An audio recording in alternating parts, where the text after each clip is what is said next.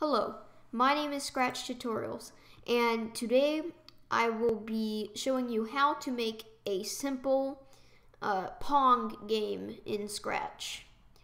So, first we're going to go ahead and delete this cat because we don't need it. We're going to title it Pong.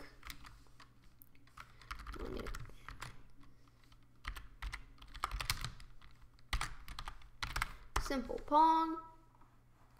Uh, and we're going to go into the sprite uh, library and find a ball. This one should do there. So we have our ball right here and I want a blue ball. So I'm going to go ahead and delete all of these other ones because we don't need them. Okay. Now we have to have our paddle. So I'm going to search for a paddle.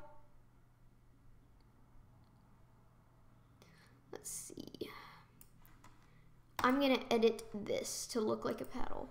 So I'm going to take this. I'm going to have keep it same color. And just going to shrink it down a little bit and expand it a little bit. That I think is a little bit too much, so I'm going to do it like that. Okay. So, um, now we need to get a backdrop for our game. Um, now, we are just making a simple one person Pong game, but I will upload a video on how to do, uh, how to edit your project to make it a two-player game. Um, so I think, I think the stripes look pretty cool. Okay, so there are our stripes. I'm gonna go ahead and just rename this uh, to paddle. And we need to add the uh, the code for our paddle. Um, to make it easier, I think we are going to change this color on the right there to black. That will just make it easier to program all our uh, paddle. So with the paddle, we're just gonna put simple code here to tell it to go to um, this location when we start the game. Uh, so when we click this, it will go there. The flag, even if it's right there, it'll just jump back. Um, then we're gonna need to add a forever script. Now, there is two ways to do this, and I will show you both of the ways, but I recommend the way I'm doing first for your paddle. So you're going to grab an if-then statement and grab the key button. And since we're doing arrow keys and we want it to go to the left, uh, to the right, we're going to do, do the right arrow. Then when we want to do it to the, make it go to the left, we'll do left arrow. Um, and then in motions, it's important not to use the move block because uh, it's easier to do it here and this is harder to program. So we're going to want to change our X.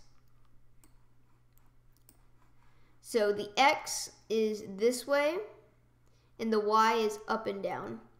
Um, there's a good backdrop to demonstrate that. Let's see It's the XY grid.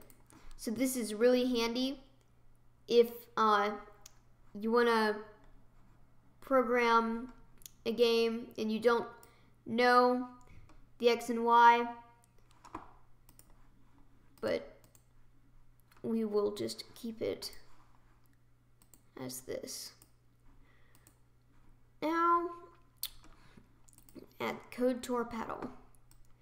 So with the right arrow, when we're going this way, it's increasing. So we want to keep that like that, but I'm going to change it to something like 5.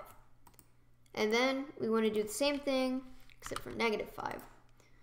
So now, when we move it, our paddle will move. And I'm going to speed this up a little bit, because that's a little bit too slow. Let's try that now. Now, you can have this paddle as fast as you want, because this is your game, and I encourage you to mess with the code. That's what Scratch is all about. Okay, so I'm going to have the ball right here. So we're going to have the ball start out in the corner.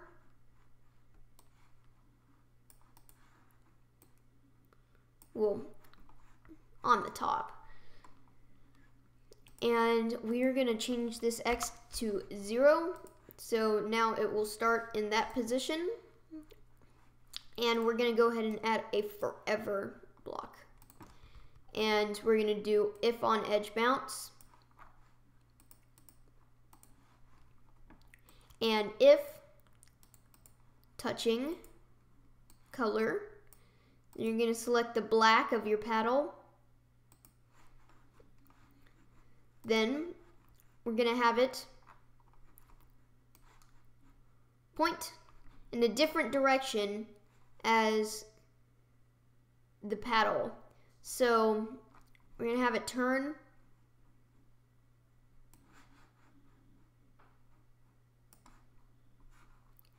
And we're going to have pick randomly between and we're going to have so we're going to have to add a move 10 steps and we want it to move bounce off in 90 to negative 90. So we're going to just have this 90 and then have it turn from 90 to negative 90. And you see how it's just bouncing like that? We're going to want to set that to 0 or a different number, yeah. So you see, we have our very simple uh, Pong game. Uh, now I will show you the other way to move your paddle, and this is a little bit simpler, but it's not as smooth. So we're just going to go ahead and take this out. And what you need is these right here, right, and if left, we're just going to move those from here, move that to there. So now it's a lot less smooth, but it's more precise if you wanted it to be more precise. But I'm going to keep it like this since I think this is a better thing to do. And make sure to save. And that is your basic Pong game. Um, I will be posting another YouTube video to show uh, how you can make this a two-player game. Thanks for watching.